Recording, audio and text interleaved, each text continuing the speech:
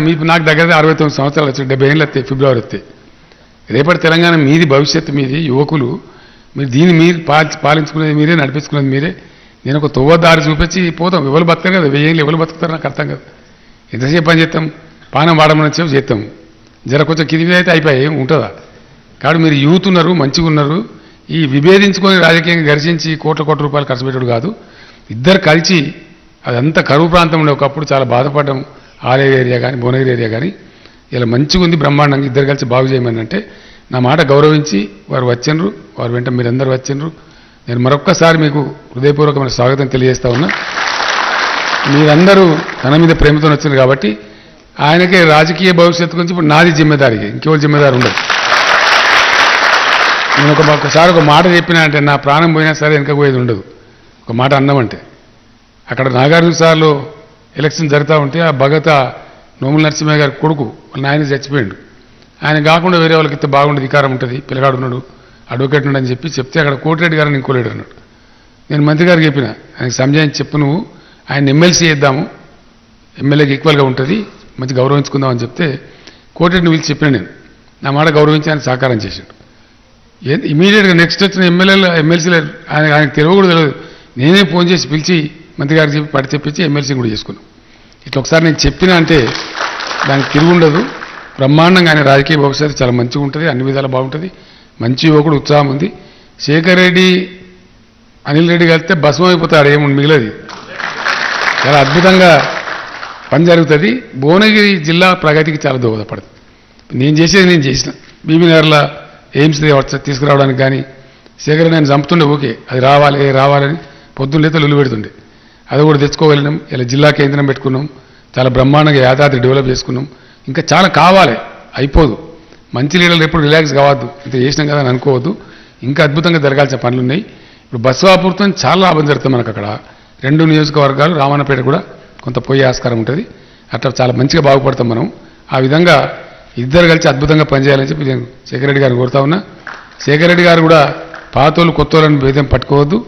అంతా కలిసిపోయి మంచిగా ప్రేమతోని అనిల్ గారిని మీరు గౌరవించి మిమ్మల్ని అనిల్ గారు గౌరవించి చాలా అద్భుతంగా ఆ ప్రాంతాన్ని అభివృద్ధి చేయాలి. గెలుచుడు ముఖ్యం కాదు గెలుచుడు గెలుతాము గాడపలు ఏదోసారి ఎందుకు గెలిచినామని జనం అనుకోవాలి. ఈ ఎమ్మెల్యే ఉన్నారంటే మంత్రి కావాల్సిన రాబాయి పబ్లిక్ ఆ పేరు రావాలి. ప్రజలకు ఆ సేవ జరగాలి. అదే గొప్పతనం. అటువంటి పని చేస్తేనే యాది ఉంటుంది. ప్రజలు యాది పట్టుకుంటారు ఆ పదవి వచ్చిందని కూడా సార్థకం అవుతుంది. కాబట్టి ఆ రకంగా మీరు ఇద్దరు కలిసి చేసి ఆ జిల్లాను బ్రహ్మాండమైన జిల్లా తయారు చేయాలని చెప్పి కోరుకుంటూ వారికి మీ అందరికీ మరొకసారి మనస్పూర్వకంగా స్వాగతం తెలియజేస్తూ నేను సెలవు తీసుకోవడం జై తెలంగాణ. మొత్తం రైతులకు ఇచ్చే ముందు అది ఎలక్ట్రిసిటీ అధికారులు ఇట్లా గదగద వణుకుతున్నారు. ఈయనరా భయ్ ఏం కాదు అట్లుంటేనే మీకు మంచిగా ఉంటుంది. అని ఉన్న చిన్న కిటికీ ఏంటంటే ఈ ఏడు గంటలే వస్తుంది అంటే ఏడు గంటల టైంలోనే ప్రతి ఒక్కరు కరెంట్ వస్తుంది ఆ స్టార్టర్లలో కట్టెలు పెట్టుడు త్రీ ఫేజ్ లేకపోతే ఇంకోటి అది తమాషలు అందరూ ఒకటేసారి పెడితేప్పటికి ట్రాన్స్ఫార్మర్లు కాలిపోడు మోటార్లు కాలిపోడు. నేను చెప్పాను మీరు అంత భయపడే అవసరం లేదా? ఇరవై నాలుగు గంటలు ఉన్నట్టయితే నా ఇష్టం నేను పెట్టుకుంటా ఇంకో ఇష్టం. ఎవరికి వీలు బట్టి వాళ్ళు పెట్టుకుంటారు. ఓ ఆయన భువనగిరి పోయి పెట్టుకుంటాడు. ఓ ఆయన పెట్టుకొని భువనగిరి పోతాడు. ఒకటేసారి అందరు పెట్టరు. వాళ్ళ వాళ్ళ వీలుని బట్టి పెట్టుకుంటారు. ఉంటుంది అనే భరోసా ఉంటే ఆరాంగా చేసుకుంటారు. మీరు అంత పరిశాన్ కాకుండా చెప్తే ఇచ్చిండ్రు. ఇప్పుడు రైతులంతా ఏం చెప్తున్నారు? మూడు గంటలు ఇస్తారంటే మూడు గంటలు ఏడవుతారా నాకు అర్థంగా తిడుతున్నారు ఇష్టం వచ్చినట్టు. ఇరవై నాలుగు గంటలు ఉంటే ఎవరికి వీలినట్టు వాడు పెట్టుకుంటాడు నడుతుంది బతుకుతాం కానీ అది ఎట్లా సాధ్యమైందనే మాట వస్తుంది. అప్పుడు రైతులు కూడా అన్నారు స్టార్టింగ్లో నాతో ఏమన్నారంటే సార్ ఇరవై నాలుగు గంటలు సాయంత్రం ఆయనతో ఉన్న భూగర్భం నీళ్ళు ఎత్తిపోతాయేమో అది కూడా పరిస్థితి అవుతుందేమో అర్థం కాక. దానికి సంబంధించి మనం ఏం చేసినామంటే మిషన్ కాకతీయ చేసుకొని ఆ రోజు కాకతీయ రెడ్డి రాజులు పుణ్యం కట్టుకుని మనకు తవ్విచ్చారు చెరువులు. ఆంధ్రప్రదేశ్లో చాలా ఆగమైపోయినాయి అవి. మళ్ళీ నలభై ఆరు వేల చెరువులు మిగిలితే ప్రతి దాన్ని ప్రతి ఒక్క చెరువును కూడా మంచిగా చేసి దాని సామర్థ్యం పెంచుకున్నాం. అయితే ఆ రోజు జరిగింది ఏంటంటే అధికారులు వచ్చిన తర్వాత లాస్ట్ రెండు పాయింట్లు అడిగారు నన్ను. ఇవన్నీ విషయాలు చెప్పి సార్ ఇంకొక రెండు కో చేస్తే తప్పక బాగుంటుంది. అంటే ఏంది? సార్ మాకు కరెంటు అప్పుడప్పుడు ఇట్లా ఫ్లక్చువేట్ అవుతుంటుంది. అది ఫిఫ్టీ సైకిల్స్ మీద నడవాలి. కిందికి వచ్చినా కానీ దెబ్బ కొడుతుంది గ్రిడ్ కొలాప్స్ అవుతుంది. ఎక్కువ వచ్చినా కూడా గ్రిడ్ కొలాప్స్ అవుతుంది. కాబట్టి అప్పుడప్పుడు ఎమర్జెన్సీలో మేము ఒక యాభై మెగావాట్లో వంద మెగావాట్లో కొనాల్సి ఉంటుంది. కొనాలంటే మాకు డబ్బులు కావాల్సి ఉంటుంది. వాడు అవతల నువ్వు మేము అడిగితే వాడు ఏమంటాడు? నువ్వు కరెంట్ ఇడుగురా అంటే నువ్వు డబ్బు పెట్టమంటాడు ఎల్సి ఓపెన్ చేయమంటాడు. దానికోసం మేము సర్కార్లో ఫైల్ పంపి వచ్చే వరకల్లా వారం పది రోజులు అవుతుంది. ఆ లోపల ఆయనతో కుప్ప ఊలుతుంది ట్రాన్స్ఫార్మర్లు కాలుతాయి. రైతులు రోడ్ల మీదకి వస్తారు. పంచాయతీ అంత ఉంటుంది. మేము ఖర్చు పెట్టాము వృధా చేయం మీకు హామీ ఇస్తున్నాం. ఒక ఇరవై ఐదు కోట్ల రూపాయలు ఫైల్ పంపకుండా మేము ఖర్చు పెట్టే అనుమతి ఇవ్వండి ఎమర్జెన్సీ సందర్భాలు ఎదుర్కోవడానికి. నేను చెప్పిన నా కరెంట్ కావాలి మేము నేను ఇరవై ఐదు కాదు ముప్పై ఐదు కోట్లు పెట్టుకో. ఏం ప్రాబ్లం లేదు. పెట్టి సంతోషంగా అని చెప్పిన. ఆ తర్వాత ఇంకోటి లాస్ట్ కోరిక అన్నారు. ఏంది అంటే ఒకటే మాట చెప్పారు వాళ్ళు. సరే ఇక్కడ ఎనిమిది మంది ఐఏఎస్ అధికారులు మా డిపార్ట్మెంట్లలో ఉన్నారు. ట్రాన్స్కోలో జెన్కోలో దీనిలో దానిలో.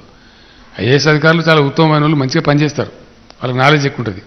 కానీ కరెంటులో టెక్నికల్ విషయాలు వాళ్ళకి తెలివై మేము చెప్తేనేమో నేను సీఎం గారికి మాట్లాడతా పవర్ మినిస్టర్ గారికి మాట్లాడతా నేను ఫైనాన్స్ సెక్రటరీకి మాట్లాడతా అయితే మాట్లాడుతుంటారు వాళ్ళు. ఆ లోపల దెబ్బ కొడుతుంది మాకు సిస్టమ్ ఇలా. మీరు ఏమనుకోకపోతే మా మీద భరోసా ఉన్నట్టయితే మమ్మల్ని నమ్మితే ఇక్కడి నుంచి ఐఏఎస్ ఆఫీసర్లను తీసేయండి సార్ అని చెప్పారు. ఇది తొమ్మిదిన్నర ఏళ్ళ కింద నాతో వాళ్ళు చెప్పిన మాట. ఆ రోజు నుంచి ఈ రోజు వరకు సింగిల్ ఐఏఎస్ ఆఫీసర్ కూడా కరెంట్లో లేడు. అందువల్లనే కంప్లీట్ టెక్నోక్రాట్స్ మీద ఇంజనీర్స్ మనం ఆధారపడి చేస్తున్నాం కాబట్టి బ్రహ్మాండంగా జరుగుతూ ఉంది ఐఏఎస్ అధికారులు ఇతర రంగాల్లో వాళ్ళు పనిచేస్తూ ఉన్నారు. అక్కడ పని బ్రహ్మాండంగా జరుగుతూ ఉంది. ఇది చేయాలంటే ఇది విల్ పవర్ కావాలి. దీనికి ఊరికే తమాషా రాదు. అంత ఈజీ కాదు. ప్రతి ఒక్క విషయంలో ప్రభుత్వం లోతుగా దూసుకుపోయి పూర్తి అవగాహన చేసుకొని పూర్తి అండర్స్టాండింగ్తోని చేసినప్పుడు పనులు సక్రమంగా జరుగుతాయి. మొత్తం భారతదేశంలో ఎక్కడ లేనటువంటి కరెంటు ఇలా తెలంగాణలో మనం ఎట్లా తీయగలుగుతున్నాం? ఏ కారణం నుంచి తీయగలుగుతున్నాం? ఒకటి. రెండవది కొంతమంది ఎకానమిస్టులు ఆర్థిక శాస్త్రవేత్తలు వాళ్ళు వీళ్ళు వాళ్ళ భాషలో వాళ్ళు చెప్తారు. వాళ్ళు ఏమంటారంటే ఇంత డబ్బా అనండి వ్యవసాయానికి మీరు పదివేల రూపాయలు ఎకరానికి రైతు బంధు ఇస్తారు వాళ్ళని చచ్చిపోతే పది ఆ డబ్బు కడతారు బీమా సౌకర్యానికి కరెంటు ఫ్రీగా ఇస్తారు మళ్ళీ ధాన్యం కొని మళ్ళీ అమ్ముతారు మీరు అనే నుక్సాన్ మనం. ధాన్యం మనం కొని మన దగ్గర పెట్టుకొని మళ్ళీ ఎఫ్సీఐకో ఇంకోనుకో ఇచ్చేవరకు ఏమైందంటే టైం అవుతుంది. మళ్ళీ బ్యాంకులో ఇంట్రెస్ట్ మన మీద పడుతుంది ప్రభుత్వం మీద. నిన్న మా రైతుల కోసమే కానీ మా రైతులు ఆగమైపోయి ఉండ్రి చెట్టుకోడు గుట్టకోడు అయిన ఉండ్రి భూములు అమ్ముకున్నారు నాశనం అయిపోయినరు. కాబట్టి అది వాళ్ళు కుదురుకునేదాకా గ్రామీణ ప్రాంతాలు వ్యవసాయం మంచిగా కలకలలాడేదాకా ఒక పది పదిహేను ఏళ్ళు ఇది చెయ్యాలి ఆ తర్వాత నువ్వు ఇవ్వకున్నా పర్వాలేదు కానీ ఆ విధంగా చెయ్యాలి ఖచ్చితంగా అని చెప్పి అందరు అధికారులకు ప్రతి ఒక్కరికి సంజాయం చేస్తే ఇవాళ తెలంగాణలో వ్యవసాయం తెల్లబడి ఇప్పుడిప్పుడు కొంచెం రైతుల దేశంలో డబ్బులు కనబడతాయి. కొంచెం మంచిగా ఉంటుంది. అర్థం కాని వాళ్ళకి కాదు. అర్థం చేసుకున్నకి ఎట్లయిద్దంటే రైతు దగ్గర మంచిగా పంటలు పడి నాలుగు రూపాయలు ఎక్కువ ఉంటే మార్కెట్లో షావుకారుల గలాలు గలగలాడతాయి ఒక డ్రెస్ కొనుక్కుంటే ఆయన రెండు డ్రెస్సులు కొనుక్కుంటాడు. పిల్లల్ని మంచి చదువులు చదివిస్తారు. అన్ని అన్ని రకాలుగా మళ్ళీ మార్కెట్లోకి వస్తుంది ఆ డబ్బు. రైతు దగ్గర ఆగదు. దాంతో కూడా రాష్ట్రం యొక్క ఆర్థిక అభివృద్ధి జరుగుతుంది. దాన్ని స్పిన్ ఆఫ్ ఎకానమీ అంటారు. బాగా అర్థం చేసుకుంటే అర్థమవుతుంది. అట్లా మన రాష్ట్ర ఆర్థిక పరిస్థితి కూడా ఇలా ఇండియాలో మనం నంబర్ వన్ అయినాం. తలసల ఆదాయంలో. ఊరికే ఓలే. ఈ వ్యవసాయంలో పెట్టిన పెట్టుబడి కూడా మనకు రిటర్న్ వచ్చింది మళ్ళీ. రిటర్న్ వస్తూనే ఉన్నది. ఎనభై వేల కోట్లు పెట్టి కాళేశ్వరం ప్రాజెక్ట్ కడితే ఎప్పుడో తీరిపోయింది దాని బాకీ. పంటలు పండేది ఒక్కొక్కసారి పండితే మూడు మూడు కోట్ల టన్నులు పండుతున్నాయి ఉసుకమన్నట్టే పండుతుంది వడ్లు. మీరందరూ కూడా చూస్తాను నేను హెలికాప్టర్ మీద అక్కడ ఇక్కడ వదిలి ఆ కో- కళాల సమయంలో ఎక్కడ చూసినా కానీ ఆ టార్పాలిన్ పేపర్లు వడ్ల కుప్పలు డాంబర్ రోడ్లు అన్నీ ఆక్రమించేస్తారు. సగం డాంబర్ రోడే ఉంటుంది మనం పోవడానికి. అంత బ్రహ్మాండంగా పంట పడుతుంది దాన్ని చూసి చాలా సంతోషం అనిపిస్తుంది. గుండెలు ఉప్పొంగుతాయి.